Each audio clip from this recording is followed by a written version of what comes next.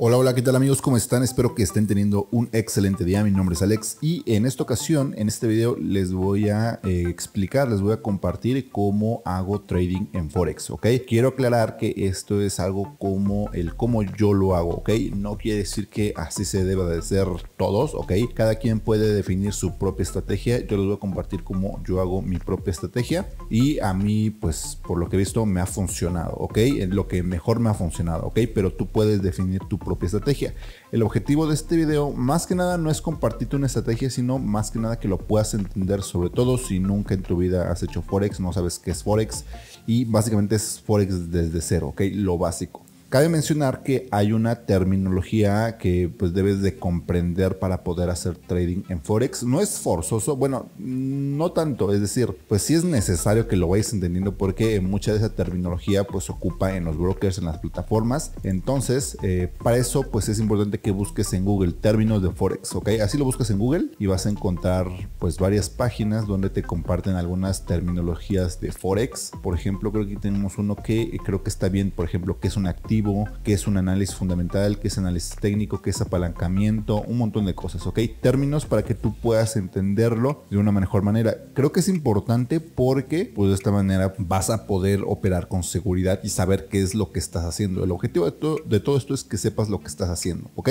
Y para ello, bueno, en este caso yo ocupo la plataforma IQ Option, ¿ok? Es la plataforma que yo utilizo, más tampoco eh, quiero decir que es la que deban utilizar todos. Es decir, cada quien puede utilizar la plataforma que mejor les parezca. Yo utilizo esta porque la verdad pues yo me he acomodado más con esta, he probado varias y esta es con la que hasta ahora pues me he sentido más cómodo. He hecho ya retiros de esta plataforma, nunca he tenido ningún problema con, con hacer retiros, ya la he utilizado desde hace mucho tiempo. También quiero aclarar que las estrategias que pueden funcionar a ti pueden no funcionarte para ti o puedes encontrar eh, estrategias en otros lados que pudieran funcionarte o tal vez pudieran no funcionarte a ti y a otras personas sí. Entonces esto de Forex es complejo, ¿ok? Por eso hago este video, pues más que nada para que lo entiendas, ¿ok?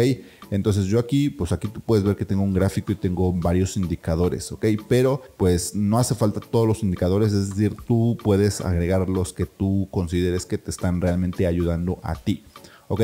¿Cuál es el objetivo de Forex? Básicamente es comprar y vender, es decir, comprar barato, comprar cuando el precio baja y vender cuando el precio sube, ¿ok? Y puedes abrir órdenes eh, ya sea eh, para comprar o para vender. Es decir, por ejemplo, ahorita que el precio, el precio ha bajado, miren, voy a quitar aquí, por ejemplo, los indicadores para que no nos confundamos. Vamos a hacer, ok, así es como se vería mi gráfico en velas. De hecho, originalmente cuando tú entres por primera vez a la plataforma, pues vas a ver algo así, ¿ok?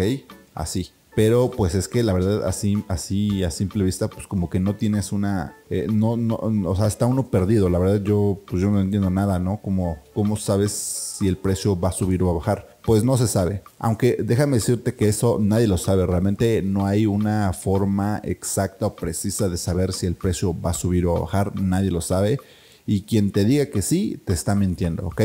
Entonces no hay una forma de, que tú puedas saber con precisión si el precio va a subir o va a bajar. Lo único que hacemos es especular con el precio, de acuerdo a lo que creemos que va a pasar, a las probabilidades. Básicamente esto es probabilidades, a lo que creemos que va a pasar, pues decidimos si abrimos una operación, una orden eh, de compra o de venta, ¿ok? Aquí no voy a utilizar términos, de, términos complicados de Forex porque tampoco yo los utilizo todo el tiempo. Simplemente lo voy a hacer, eh, tratar de explicar de la mejor forma más fácil y sencilla posible, ¿ok? Aquí en la parte de arriba, donde dice más, pues puedes seleccionar aquí en Forex, en Forex y seleccionas el par de divisas que tú quieras, pues con la que quieras tradear, ¿ok? Aquí yo tengo abiertos varios, ¿ok? Pero por ejemplo aquí tengo el dólar con el yen japonés, ¿ok? Entonces, yo lo que hago, pues eh, primero que nada lo cambio a velas, ¿ok? Porque me acomodo más con velas. La duración de cada vela yo le pongo 10 minutos. Eso es, yo personalmente, a mí me funciona más, me acomodo más con velas de duración de, 10 minutos. Es decir, que cada vela dure 10 minutos, ¿ok? El multiplicador, bueno, eso depende de los que me aparezcan disponibles en ese momento. Normalmente ocupo eh, el, máximo el 100, ahorita nada más me aparecen el 25, esto pues también va variando, ¿ok? Em, Por ejemplo, me aparece por 25, pero hay ocasiones que aparece un por 500, ¿ok? Esos yo no los utilizo porque la verdad es muy, muy, muy riesgoso, ¿ok? Entonces yo no utilizo esos. Ahora, los indicadores, los indicadores que yo utilizo, por ejemplo, primero que nada, son las bandas de Bollinger. Aquí en la parte de abajo tú puedes agregar todos los indicadores, hay un montón, la verdad. Y si no, pues los puedes buscar aquí donde dice buscar.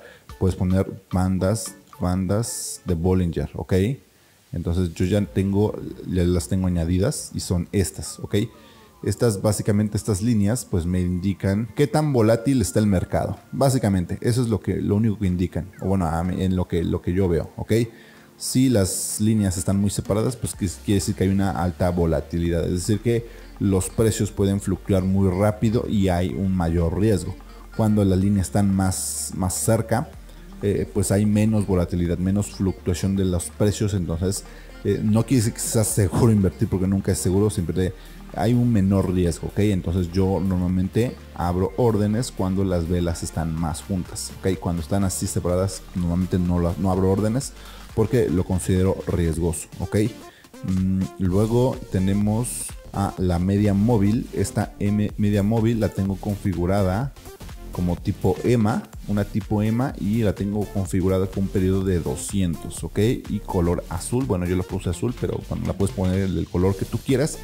Lo importante es que la puedas identificar, ¿ok? Y esta línea básicamente, básicamente me indica o me marca más la tendencia, ¿ok? Si la línea está por debajo del gráfico, la tendencia es alcista, ¿sí? Que el precio va hacia arriba.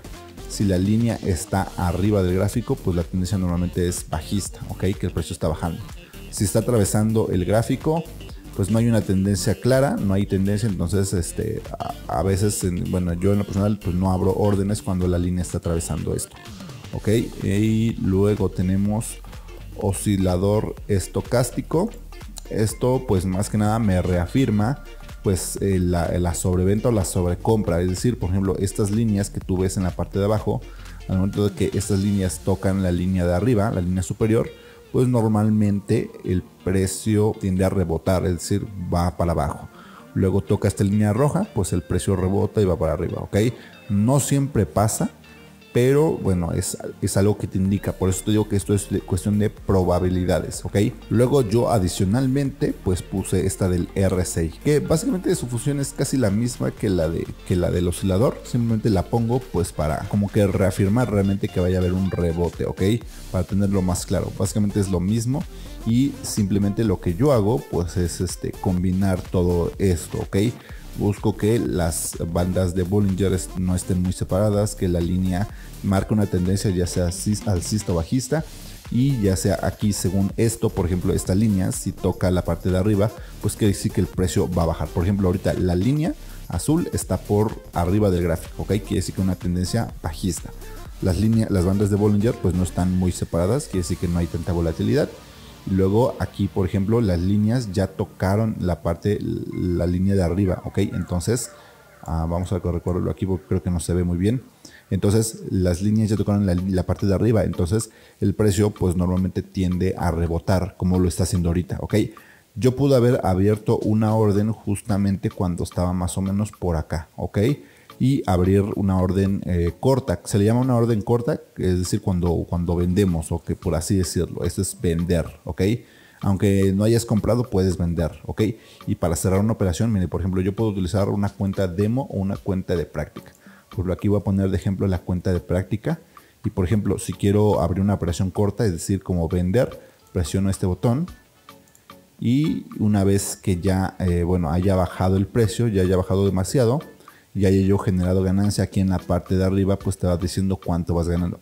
En este caso tengo menos, menos 0.01, ok, pues no es nada, ok. Entonces si yo la cierro me quedo con esa pérdida. Si aquí aparece una ganancia, pues obviamente gano eso. Entonces tengo que cerrar esta operación, la orden, para que ya por fin ya, pues ya, ya obtenga mi ganancia, ok.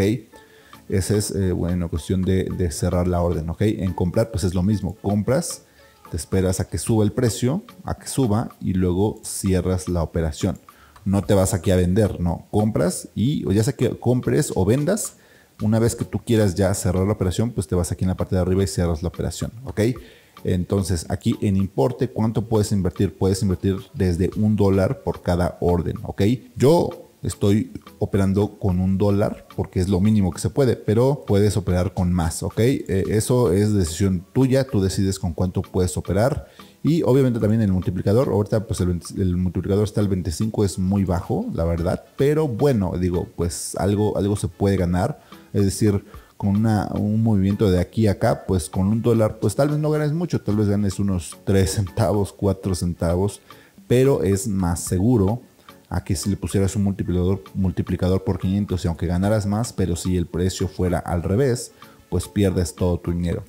Yo sé que este video puede ser un poco complejo, estoy tratando de explicarlo de la mejor manera, lo más fácil posible, pero bueno, básicamente lo que tienes que hacer es empaparte. Si quieres, si realmente te interesa aprender a hacer trading en Forex, bueno, aquí también tienes eh, algunos videos donde dice tutoriales, aquí hay tutoriales sobre eh, bueno, todos los videos y aquí te vas a cómo depositar, cómo invertir eh, con opciones, opciones digitales. La verdad, eh, sinceramente, las opciones digitales, opciones binarias, bueno, yo no las utilizo porque es, son muy riesgosas. Si Forex es riesgoso, las opciones binarias son más riesgosas, ¿ok? Entonces, qué tipo de, bueno, qué operaciones puedes hacer. Puedes hacer, son opciones, opciones binarias o digitales. Esas son muy riesgosas. Yo no las utilizo. Bueno, hace tiempo las comencé a utilizar. Llegué a ganar algunas veces, pero también llegué a perder, siendo sincero. Entonces ya no me gusta tanto, ¿ok? Porque es, es muy riesgoso, ¿ok? Actualmente utilizo Forex Em, también puedes hacer trading con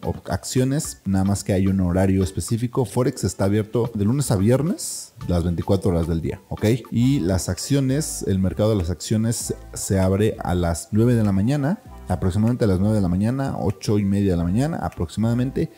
Y se cierra como eso de las 4. Ahorita ya son las 5, van a dar las 6 de la tarde. Entonces, pues ya ahorita el mercado está cerrado. Tendremos que esperar hasta mañana para poder hacer trading.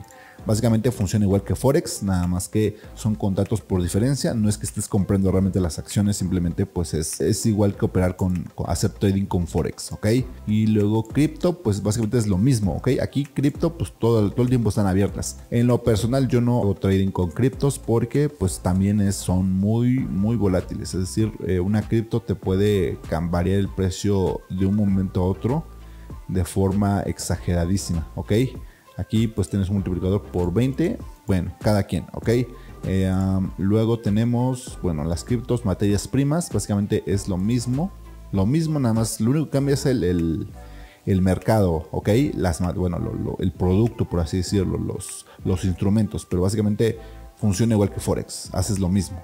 Inviertes, checas las compras, vendes, cierras las órdenes, ¿ok? Y eh, es así como funciona. Luego están los fondos, básicamente es lo mismo. Ahorita el mercado está cerrado, hay que esperar a que abra. Y bueno, aquí en cierre automático, en la parte donde dice cierre automático, yo puedo especificar, por ejemplo, si quiero que la operación se, eh, se cierre automáticamente cuando tenga cierto porcentaje de ganancias, por ejemplo, un 50% de ganancia, ¿ok? O un 30% de ganancia, lo puedo poner así, o un 10%, ok. Lo puedo poner en ganancia o lo puedo poner en dinero, ok. ¿Cuánto en dinero o una cantidad específica, ok. Yo ahorita pues no la pongo, no, no le dejo nada, pero en pérdidas le pongo, ahorita le puse el, como estoy operando con, eh, abriendo órdenes de un dólar, pues simplemente le pongo que cada vez que la pérdida sea de 50 centavos de dólar, la orden se cierra automáticamente. Esto para no generar más pérdidas, ok. De que abre yo una orden y a lo mejor no revisé bien y en lugar de que si yo dije que el precio, bueno, si yo compré y el mercado estaba abajo y, comienza, bueno, que comience a subir y en lugar de subir sigue bajando, bueno, pues la operación se va a cerrar automáticamente al, cuando pierda 50 centavos. Entonces, de esta manera como que frena un poco las pérdidas, ¿ok? Pero aquí, pues lo más importante es aprender a gestionar tu capital. Este video puede ser muy rápido y a lo mejor muy complejo, muy difícil de entender, pero te aseguro, bueno, si realmente te interesa lo que es Forex, realmente te interesa aprender, involucrarte en Forex, créeme que una vez que estés ya haciendo trading, realmente no va a ser tan complicado. Si realmente te gusta, te llama la atención, no va a ser tan complicado, le vas a entender muy fácil. Realmente entenderle no es lo complicado, sino gestionar el capital es lo no complicado, pero sí requiere como que mucha paciencia, requiere estar tranquilo, no estresarte, eh, no busques hacerte millonario de la noche a la mañana, no busques hacer dinero rápido, no. Esto es pues, pues con el tiempo, poco a poco. Eh, bueno, yo en lo personal, yo busco ganancias pequeñas pero seguras, ¿ok? Ganancias grandes son más riesgosas. Puedes ganar mucho dinero en poco tiempo, sí, pero también puedes perderlo todo en cuestión de minutos. Entonces, no es la idea. En lo personal, no lo veo así. Entonces, yo busco una manera de tener pequeñas ganancias poquitas en trades pequeños e ir creciendo mi cuenta poco a poco. ¿ok? Como os comento, yo pues esta, esta plataforma ya tiene muchísimo tiempo. Yo ya he hecho retiros de esta plataforma, nunca he tenido problemas con hacer retiros de esta plataforma, nunca. Obviamente tengo verificada la cuenta, hay que registrarte con tus datos reales, todo eso. Te van a pedir documentación de tu país, por ejemplo, tu identificación, comprobante de domicilio, tal vez un estado de cuenta, etcétera, ¿ok? Son protocolos que tienen que seguir porque pues les hacen auditoría, ¿ok? Entonces, pues tienen que, hacer todo eso, pues porque se lo piden, ¿ok? Entonces, eh, bueno, si realmente te interesa, pues es lo que se tiene que hacer, o al menos algunas partes, digo, la estrategia que yo ocupo, normalmente reviso, por ejemplo, si el precio va a rebotar, pues invierto hacia abajo, si el precio mm, va a bajar, o sea, bueno, yo ocupo la, opción de rebote, es decir, busco cuando el precio vaya a rebotar, por ejemplo, ahorita el precio, el precio ha bajado, entonces posiblemente el precio suba un poquito o siga subiendo, pero bueno, realmente Nadie sabe con exactitud si el precio va a subir o bajar. Todo eso de señales de trading, no, no me fijo nada de señales, nada, no recibo señales de nadie. La verdad es que pues yo no los utilizo y pues vaya, también este video tampoco es un consejo de inversión. No te estoy aconsejando qué hacer en Forex, simplemente te estoy diciendo cómo yo lo hago, pero igual puedes encontrar a alguien más haciendo algo completamente diferente, ¿ok? Y a esa persona posiblemente le funcione, ¿ok? Eh, Forex es muy complejo, pero si te empapas, si te involucras, puedes ir entendiéndolo poco a poco y a lo mejor no se, no se te hace tan complejo. Pero bueno amigos, básicamente eso sería todo lo que les quería compartir a grandes rasgos de cómo funciona Forex. Es más complejo de lo que parece, obviamente hay, eh, bueno, más que nada con la práctica te vas, le vas a ir entendiendo. Eh, lo ideal, si realmente quieres entrar, pues es utilizar la cuenta de práctica. Una vez que ya te hayas acostumbrado, le puedes depositar a la cuenta real, le puedes depositar, por ejemplo, le puedes estar con tarjeta de débito o de crédito, Mastercard o Visa, por ejemplo, pero en este caso es importante mencionar que solamente vas a poder retirar la misma cantidad y al mismo al, a la misma tarjeta donde depositaste. Entonces, eh, por ejemplo, si depositas con Oxo Cash, la verdad nunca he depositado con Oxo. Eh, es un ejemplo, aquí en México aparece el Oxo, son unas tiendas donde tú vas y depositas. Entonces, este, nunca he depositado de esa manera. No sé realmente cómo puedes hacer después del retiro.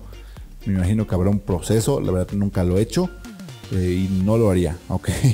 Yo no lo haría, pero bueno, cada quien. Entonces esto de Pancomer Cash tampoco, Spay transferencia tampoco lo he hecho. Yo lo hago a través de Skrill, ¿ok? Y puedes depositar a partir de 10 dólares, ¿ok? 10 dólares ya puedes depositar, ¿ok? Y ya hasta máximo 10 mil, ¿ok?